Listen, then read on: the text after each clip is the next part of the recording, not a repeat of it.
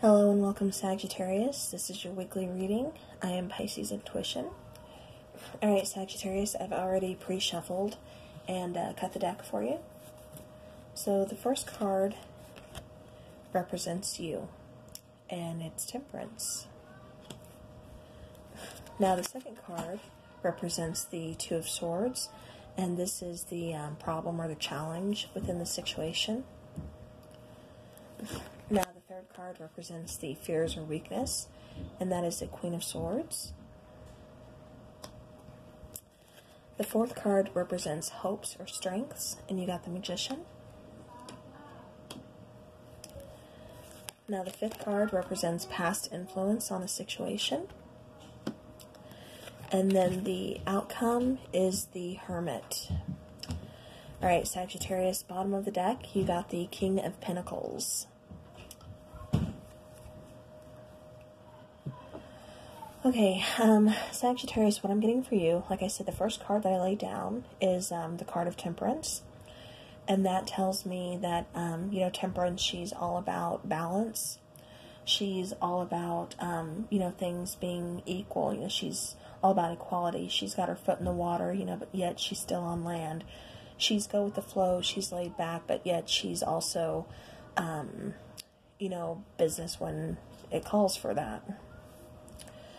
Now, the problem or the challenge is the Two of Swords. And the Two of Swords tells me that um, there's a decision that you are not quite ready to make yet, or perhaps you're not seeing the full situation. You know, the full situation is kind of, um, you know, blinded to you. You don't know. You don't know all everything you need to know about the situation in order to make this uh, decision. Now, the third card that represents your fears or your weakness is the Queen of Swords. Now, this is telling me that you have some trust issues within this um, situation, and I'm seeing that because one, the Temperance card that's representing you, it's like you know something is off balance. You know something's right. You know you don't have all the details in this situation and that's kind of what has you at a standstill and unable to make any decisions. And the Queen of Swords, like I said, she's calling for some truth. You know, she's calling for, um, you know, the details that she needs. And she's kind of mistrusting. She has her sword down at her side, you know, her hand on it, but yet she has, you know, her um, hand is being held, you know, by her partner. So that's telling me she's willing to listen, but she's not afraid to, you know, cut any anything that's not serving her out of the situation that, you know, she doesn't need. But this is telling me that you do have some mistrust because you don't have all the details about the situation. You just feel like something is um, something's off balance, something's not right. Now, your hopes or your strengths um, is the magician. You know, the magician, he's the card that he has all the tools. He knows how to use them. He can make things, you know, manifest. Um, he has the infinity, you know, symbol above his head. He can also be a bit of a trickster. Now, for the past influence on the situation, it's the King of Cups. You know, the King of Cups, you know, he is a very loving king. You know, when he loves, he loves hard but he does tend to um, kind of hide his emotions. You know, uh, you see the glass of wine in his hand, you know, the cigar, he can be very, you know, very indulgent, you know, out of all of the kings. Um, he does like to indulge, you know, himself, but at the same time, like I said, um, this is more what I'm getting is, you know, he's kind of hiding his emotions. Now, the outcome being the hermit, that tells me that you are kind of going within. You know, you're taking a time out from the situation. You're going within because you need to do some soul searching. You kind of need to, you know, maybe you're looking for the answers and hoping that you'll find them, you know, within yourself instead of waiting for this person to provide you with answers. So now, Sagittarius, so what I'm getting for you is you know, like I said, you feel like this situation, you know, deep down, you know, something's not right, you're feeling off balance, but you don't have all the situa- all the details to this situation. You know, perhaps somebody is withholding their feelings. You know, they're not telling you everything. And that's what the situation is requiring. You know, you're because you're you're not trusting, you know, the situation. Like I said, you know something's off balance, you know somebody is withholding something from you, and you kind of you know you're stuck at a standstill because you can't make this decision because you're blinded to you know all the details because something is being kept from you.